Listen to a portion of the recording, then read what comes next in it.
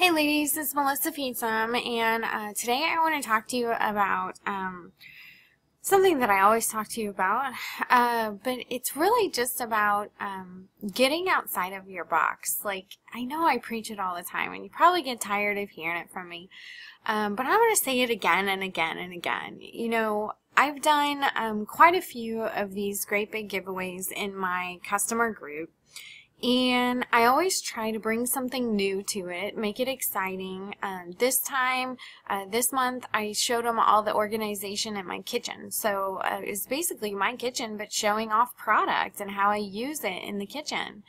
Um, so I showed them my pantry and under the cabinets and how I held the Tupperware and blah, blah, blah, blah. So um, I really just wanted to um, show you something that I did but I want to show you um, the kicker and the difference between me and a lot of other consultants out there. So I, I had these eight bags. I got these little mini bags at Hobby Lobby for three bucks and there's like 20 in the bag. I took two by four labels and I cut them and I stuck the sticker on there and wrote a number on there, one through eight.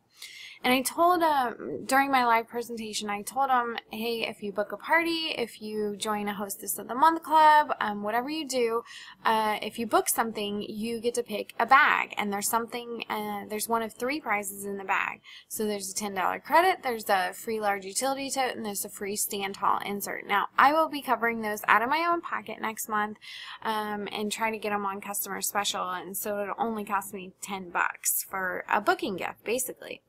So um, I had three takers last night on my live event. So I got two um, and Hostess of the Month and um, Ms. Kelly uh, booked a catalog party. Um, now, I had, uh, what, uh, five bags left and that wasn't cool with me. So um, this is just how my brain operates and this is what I really want to talk to you guys about shifting that mindset and going a step further. Have you ever read that book? I think it's 212 degrees. It's um, are you willing to go that extra degree in your business? Because this is why I am successful because I always go that extra degree. Now, I had this live event and I um, gave away three bags and I could have said, okay, I'm done. And um, I didn't. I woke up this morning at 7 o'clock this morning and I posted uh, a picture of my bags and said, hey, I've got some left. Who wants one? And let me tell you, ladies, I booked a home show. I booked a catalog party, a catalog party, and uh, another party. Somebody messaged me. I don't know, but uh, I think I have. Uh, I only have three bags left. So I I really just want to encourage you to again go the extra mile, go the extra degree.